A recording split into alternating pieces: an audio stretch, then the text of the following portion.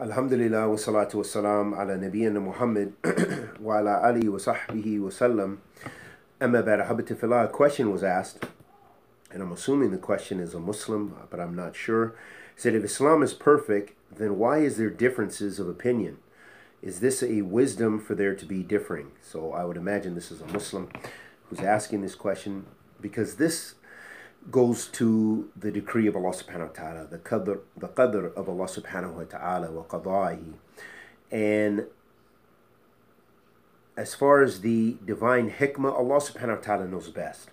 However, what we see from some of the nusus, for example, uh, in a beautiful statement by one of our Salaf al-Salih, Fudayl ibn Iyad, rahimahullah ta'ala, he said, commenting about the verse where Allah Ta'ala says, في كتاب الكريم in Surah Al-Mulk, Allah subhanahu wa ta'ala says, لِيَبْلُوكُمْ أَيُّكُمْ أَحْسَنُ الْأَمَلَ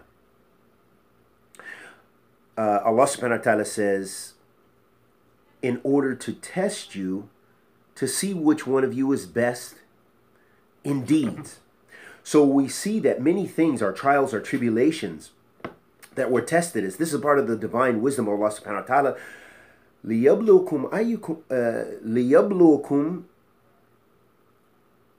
أَيُّكُمْ أَحْسَنُ أَمَلًا It's it's a test for you to see which one of you is best in deeds.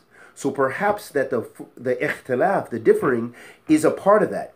Fudayl ibn Iyad, rahimahullah ta'ala, said about this ayat, he said, أخلصه وأسوبه فإنه إذا كان خالصا ولم يكن صوابا لم يقبل وإذا كان صوابا ولم يكن خالصا لم يقبل حتى يكون خالصا والخالص إذا كان لله وصوابا إذا كان على سنة Beautiful, beautiful statement, which shows the importance of sincerity to Allah subhanahu wa ta'ala. And he said, that these deeds, meaning, uh, you know, in relation to our deeds, you know, so we're talking about a test and why the difference in ikhtilaf, but to expand a little bit about what does it mean righteous deeds? What are we talking about to see be tested to see which one of you has best deeds? Fudayl ibn Iyad, he explained, he said, to see which one of you is most sincere and most correct, because that's what uh, righteous deeds. Righteous deeds are built on two things: ikhlas lillah, sincerity to Allah, and that you do it in accordance with the sunnah of the Prophet ﷺ. Then we call it uh, a righteous deed in Islam.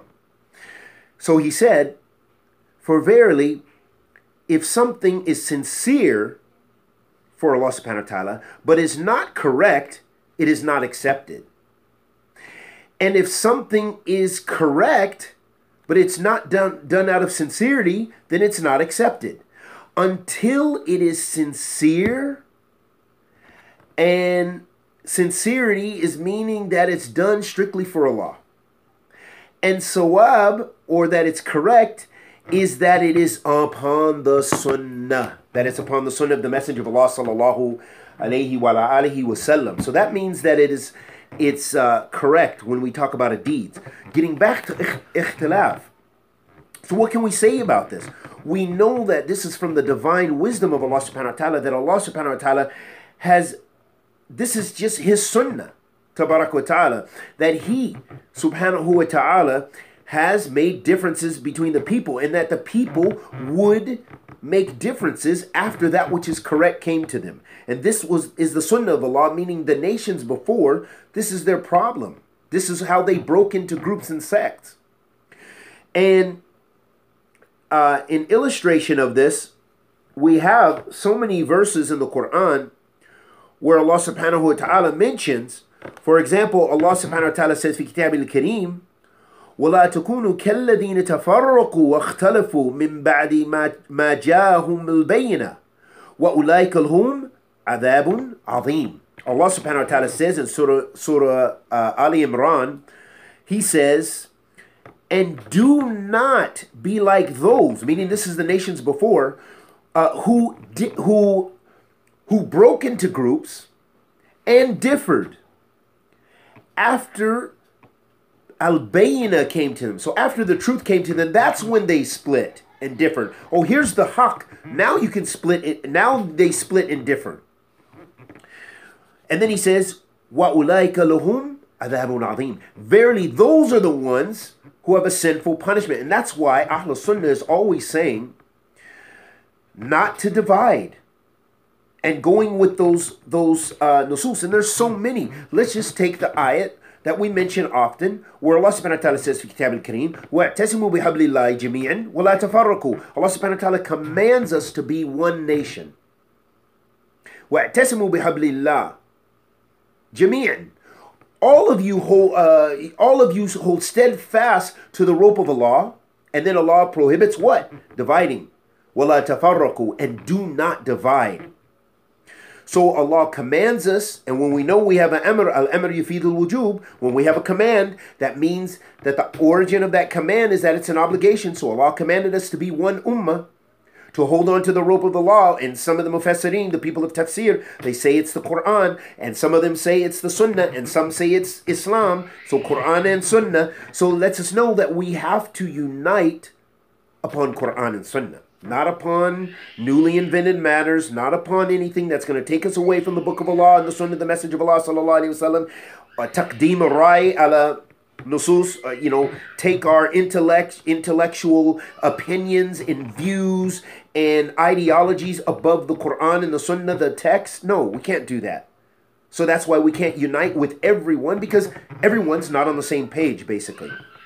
So Allah lets us know that we would divide and but at the same time, he prohibits it. Now look at this. Uh, we're going to talk about something else. It just brought to my mind.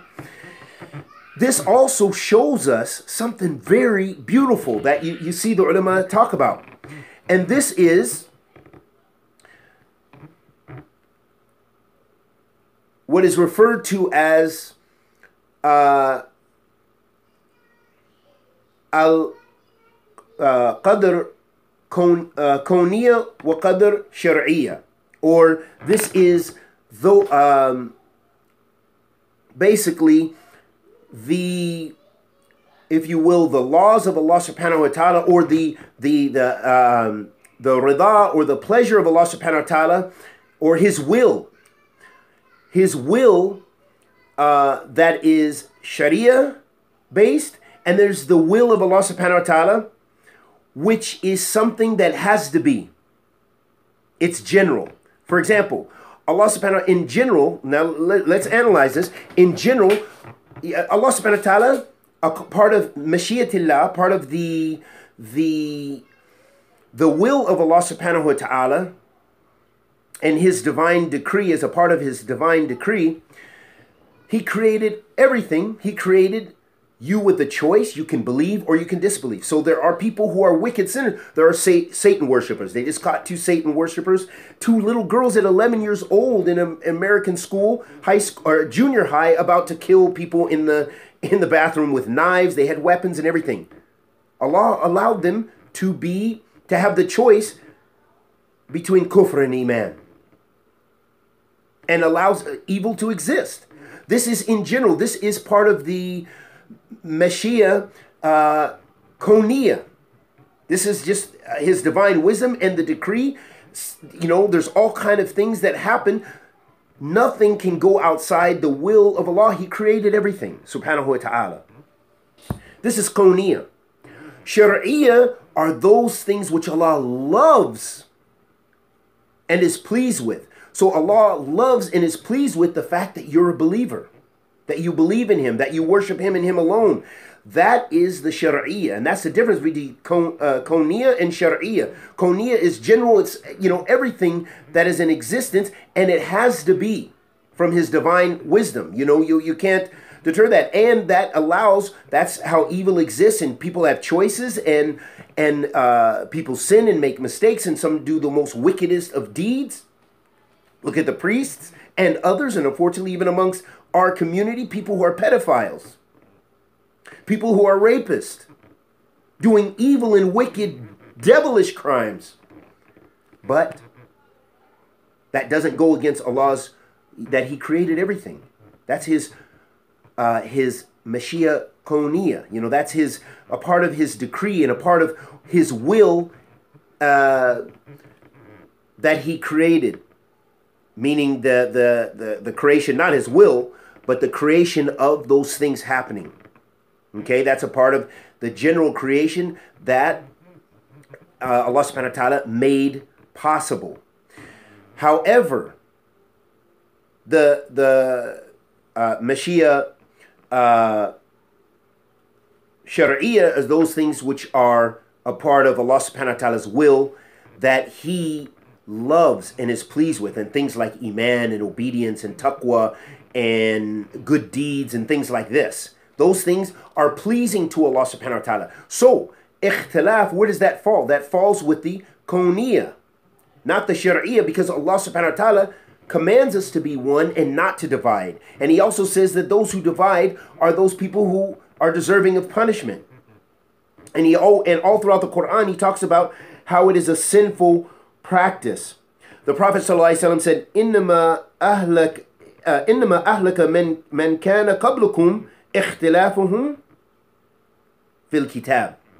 Allah, uh, the Prophet ﷺ said in a hadith, and this is a hadith akhraju Muslim. This is Sahih Muslim, Kitab al-Ilm. He said, "Verily, what destroyed those who came before you, because he said this out of anger, as it mentions, is they're differing in the book. They're differing. So differing is madmoom. We have tons of evidence. The Prophet ﷺ said, افترقت اليهود على 71 فرقة، افترقت النصارى على 72 فرقة، وستفترق هذه الأمة على 73 فرقة، كلها في النار إلا واحدة، كل من هي يا رسول الله؟ قال من كان على مثل ما كان عليه وأصحابه. The Prophet ﷺ said, the Jews break into 71 sects, Christians 72 sects, my umm in the 73 sects, all of them in the fire except one. They said, Who are they, Ya Rasulullah? Those are upon what I'm upon and what my companions are upon. Letting us know what is that ikhtilaf? That's ikhtilaf, that's the koniyah.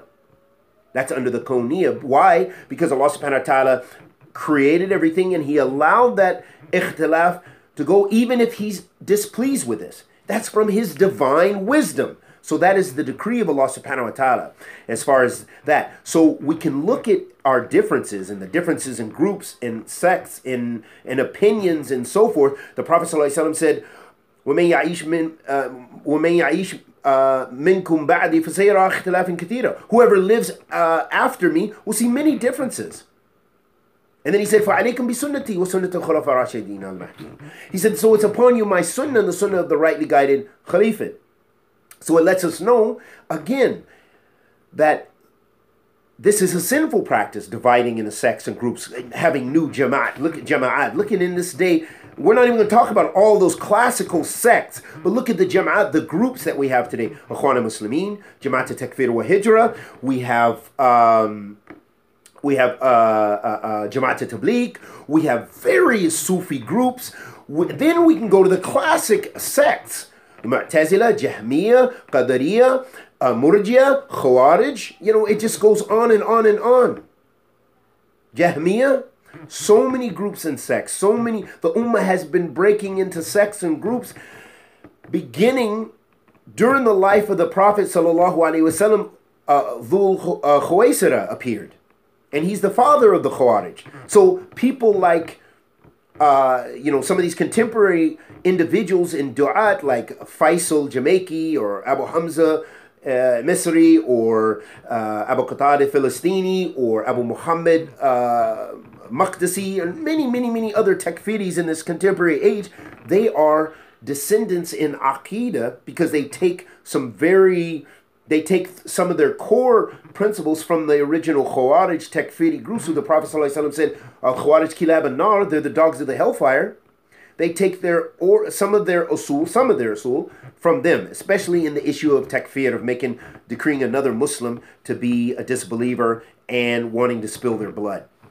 This is the trait of the Khawarij. So the point being, a Habatifillah, is this a test? Differing is a test it's according to Allah subhanahu wa ta'ala's divine will, uh, konia, meaning something he doesn't like, but he created and allowed for it to be in existence from his divine wisdom. And it's a test. However, again, a shari'iyah, uh, uh, uh, uh, the Mashiach shari'iyah, or the, the will of Allah subhanahu wa ta'ala that's in accordance with the shar are those things which Allah subhanahu wa ta'ala loves and is pleased with. from righteous deeds and not breaking into being one community as we're ordered to do. And I hope that gives some insight into uh, divisions. And we ask Allah the Almighty to accept our good and forgive our evil. Anything I said that was correct is from Allah Azza. Anything I said that was incorrect was from myself and the shaitan. And may Allah subhanahu wa ta'ala unite the ummah of Muhammad sallallahu alayhi wasallam based on the Quran and the sunnah of the, his messenger sallallahu alayhi wasallam and forgive us of our many sins and our splitting and our dividing into groups and sects and bless us to call to what pleases him subhanahu wa ta'ala wa sallallahu wa sallam ala nabiyyina Muhammad wa ala alihi wa sahbihi wa sallam.